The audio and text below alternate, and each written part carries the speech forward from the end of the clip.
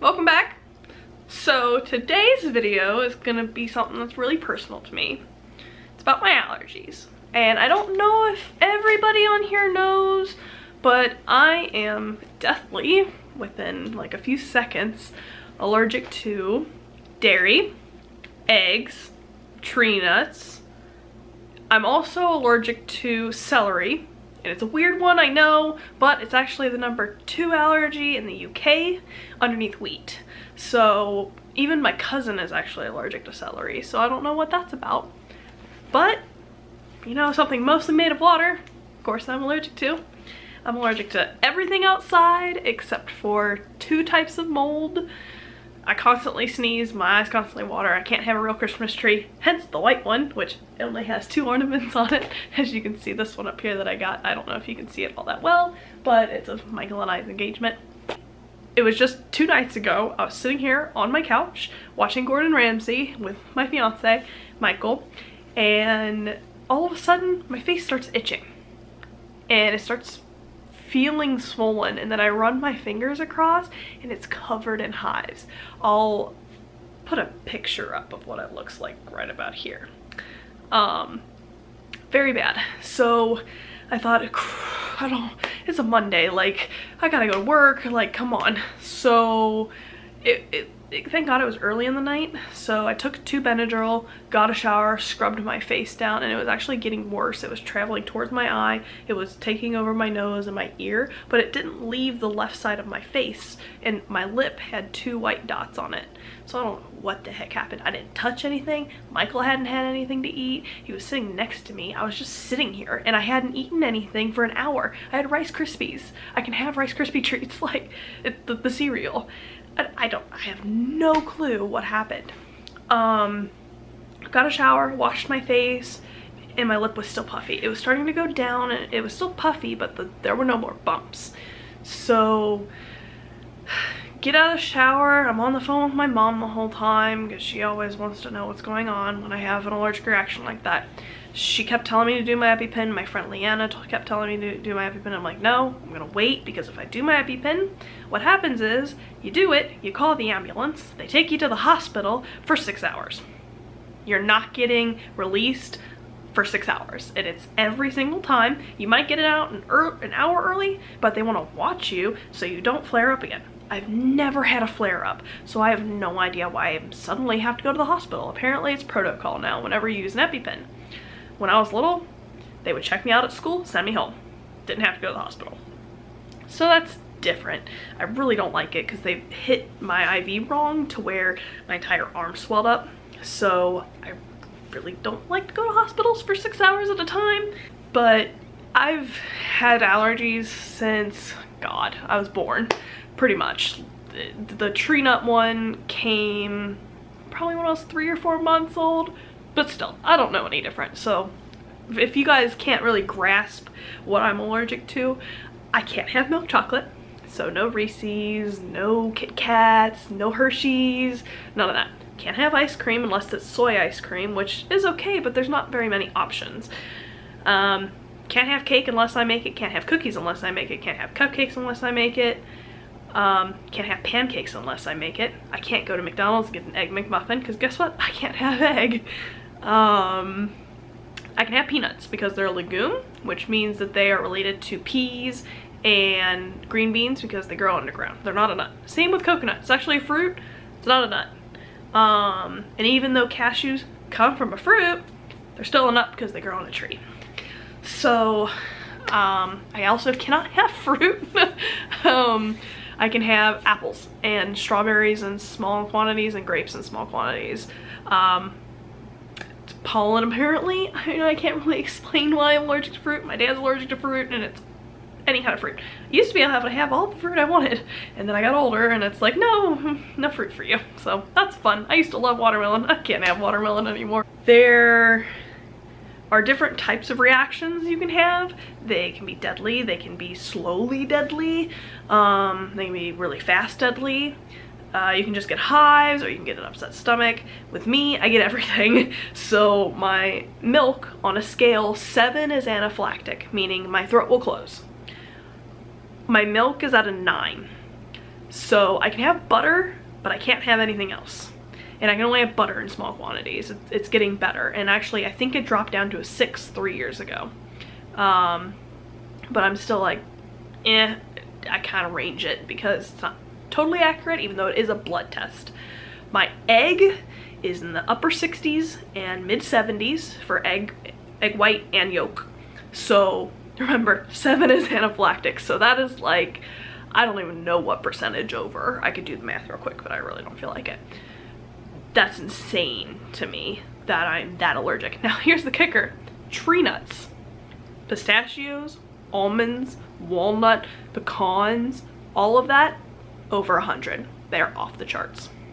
So if they're cooked in house, like roasted for Christmas, I can't even be in the house. I have to be out of the house and I can't even come into the house 24 hours later after it's been ventilated. So you have to have fans going in every window in the house open. Um, eggs, I can't be in the same room. If I go to a different room, I'm fine. But if I'm in the kitchen with them, I can't do it. So there's a downside to that too. Fruit, I haven't really been specifically tested for fruit. I know I'm positive because they've tested me for orange and that came back like two but it just makes my throat itch it doesn't send me into anaphylaxis um, i won't get hives i can have citrus on my body that's fine it's just when i eat it my throat will start to itch and then i just drink a whole bunch of water and i'm fine but if i were to eat an egg which i accidentally did two years ago um, if you saw that video, it's where I was taken by ambulance from work because I ate an egg. Um, it was in January, I think two years ago. But I ate a little bit of egg and within 30 minutes I was starting to go into anaphylaxis. So imagine if I ate a whole egg, that would have been instantaneous that I would have gone into anaphylaxis. But what happened was my stomach started hurting really, really bad. And then I knew I knew it was going down. I knew I would have had to do an EpiPen because it's an egg, but I was going to wait it out. I took four Benadryl. They did not do anything. Usually within 30 minutes, I start to conk out and I just passed out because of the Benadryl wasn't working. So took that, was still working, went to sit in the back while my coworker was working for me and all of a sudden like I started getting antsy and there was this pain and I can't describe it because I don't know where it comes from. It just out of nowhere hits you and it's like it's everywhere. Um, so dealt with the pain and when I stood up I started to feel off like not tunnel vision but all of a sudden like hot cold flashes and felt like something was about to go down. So I'm like, okay, screw it. Kayla, which was my coworker at the time, I gotta do the EpiPen. Called my boss, let him know I'm going to the hospital. Called my mom, told her I just did an EpiPen, and I just called the ambulance. They were on their way. So got taken from work to the hospital, and if you want to see what happened with that, you can watch that video. It's not very eventful because I was in and out of it because I was pumped of epinephrine and Benadryl all day.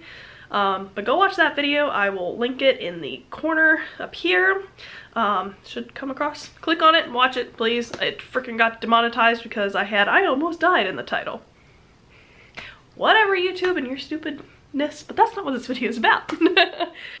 I've had, God, at least 12 EpiPens in my entire life. I actually had to get twice one time because the, you're supposed to hold it in for 12 seconds. So this is one of the newer EpiPens that I have. It's cheaper on my insurance. Um, comes in a tube, pop it out, and they actually used to look like this, a lot like this back in the day. It's a skinny little tip. So I'm not going to activate it because once it's activated, you, you got to use it. Um, but you take off the blue cap, which I can pop off, that's fine. And you pull this out, which I won't do because it'll activate it. And then you jab it into your thigh because it's automatic. So once it hits your thigh, then um, it automatically injects. So you don't have to worry about pushing anything. Back in the day, you used to have to push it. So I can't remember if this was an auto injector or one of the push ones. I think it was an auto injector. But what she did, you're supposed to hold it in for, what is it, 10 seconds? I usually say 12 just because you're counting fast. Um, so she stabs it in and she pulls it out immediately. And I'm like, I'm just like seven and I'm like you have to do another one you didn't administer anything because I just saw it drip all over my leg and she's like what really and I'm like yes So I had to get two in one leg because the other leg, I, I don't know why she did it. I just said just do it next to the other one because two sore legs, I didn't want to deal with it. I just rather deal with one. Um, that happened. I've also had a, not an accidental, but a non-needed EpiPen before. Um, I was in, what was it, fourth grade? And I went down to the nurse because something, I just didn't feel good. Took my temperature, nothing. Looked at my throat, nothing. Went back. As soon as I stepped in that classroom, my throat felt like it was closing. So I told my teacher, she's like, oh no, you're fine. I'm like, no, I need to go to the nurse. Like, I'm going back. Um, went back down to the nurse and she said it looked like my throat was closing and did an EpiPen. Turns out it's just strep throat. So I got one that I didn't need. That sucks, whatever. But, um, these things are not not fun and they're very expensive. Um, but it, it, leaves a big old bruise on your leg I'll tell you that. Um, I think the youngest I was ever having one is I actually don't remember my first one. My first one was at an old abandoned mall here in Cincinnati called Cincinnati Mills and it was when it was bustling and popular and awesome well now there's nothing in it. Um, there used to be a pharmacy in it. So I think it, there was a Kroger like right attached to the mall so I don't know what happened. My mom told me at one point, but I can't remember exactly what happened. Um, started going into anaphylaxis into the cart or in the stroller and my mom left the EpiPen in the car and it was closer just to go to the pharmacy that was attached to the mall.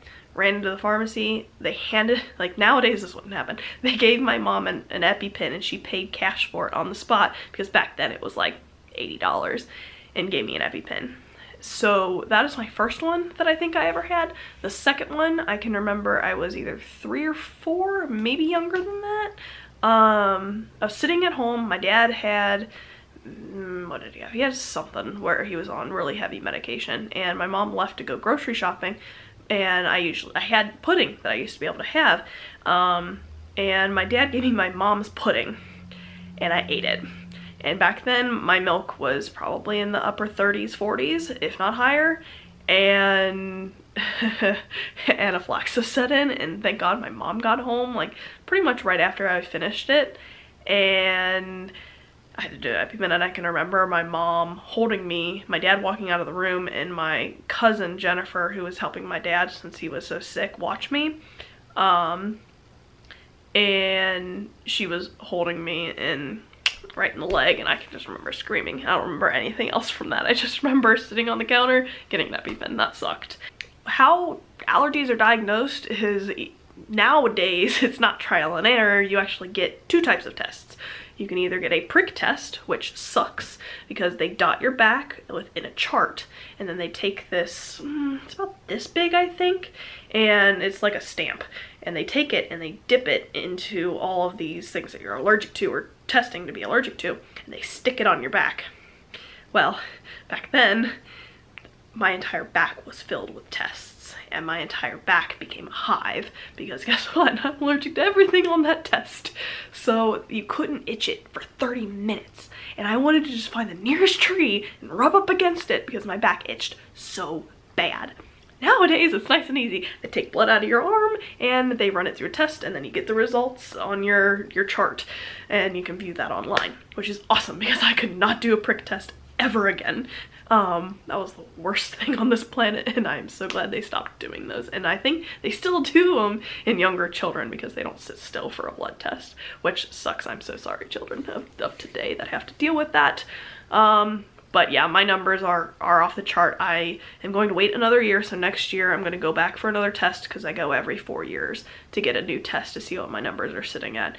And they're always like, why are you back here? And I'm like, because I want to see if my numbers moved. Like, let's just see what's going on with my numbers here. Um, I actually used to be allergic to shellfish, but I grew out of it. Yay! I grew out of it. Oh god, I don't know, six years ago? I was in high school. So, um, that's everything about my personal experience with allergies. If you guys deal with allergies on a day-to-day -day basis and you have to avoid stuff, let me down know down in the comments below because I'd really like to know. Um, it's a very interesting experience for myself and I just want to know if there's any other people out there that are like me besides my cousins because they're also allergic to stuff too. So thank you guys so much for watching. Tune in next week. I'm going to have another video out and toodles!